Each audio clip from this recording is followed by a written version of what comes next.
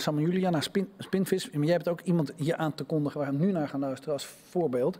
Um, Iris van Nuland, wil jij um, vertellen waarom uh, het belangrijk is dat we naar haar luisteren en wie ze is? Nou ja, Iris van Nuland die staat er en gelukkig sta je er, want dat, die heeft een soort vliegende start gehad. Die heeft Superkids hè, van uh, RTL gedaan. Je hebt het Prinses Christina concours gewonnen afgelopen september.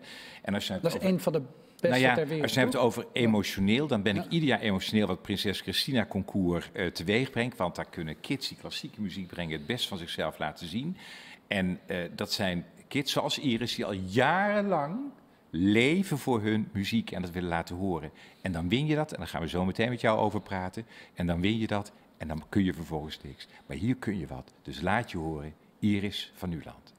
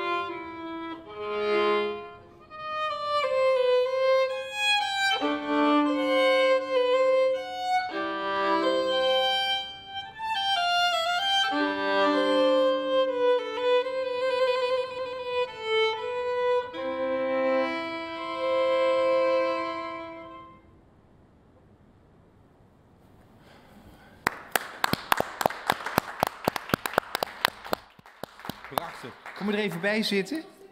Nog een stukje? Nou, heel graag. Een iets bekender stukje misschien. Um, en dat, uh, ik, ik, weet niet of ik het zelf even zal aankondigen misschien. Ja, doe maar. Ja. Dat is uh, namelijk een heel klassiek werk, maar um, wat veel mensen kennen uit de Efteling. um, en dat is de Dans Macabre van Saint-Saëns. Ah. Veel mensen weten natuurlijk niet dat klassieke muziek echt overal om ons heen is. Dus uh, daarom dacht ik, dit is ook nogal passend als korte, korte afsluiting.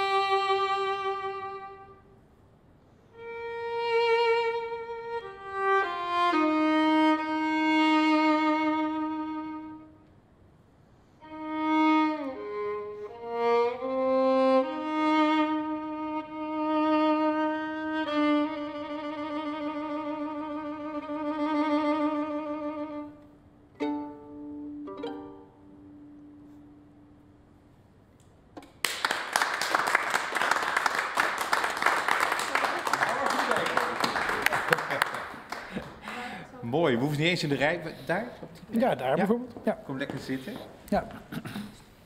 Ik zei net bij, mijn, uh, bij, bij, de introductie al dat je uh, Superkids uh, gewonnen hebt. Ja, En dat je het Prinses Christina concours gewonnen hebt in september. Ja, dat is kort geleden, ja. Ja, dat is kort geleden. Heb je sinds dat winnen, want dat is een belangrijk moment, heb je kunnen spelen?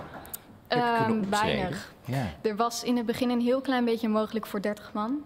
Um, maar heel weinig, ja. Ik heb um, ook toen bijvoorbeeld de prijs gekregen dat ik met het uh, JON, het uh, Jeugdorkest Nederland, mag spelen, soleren.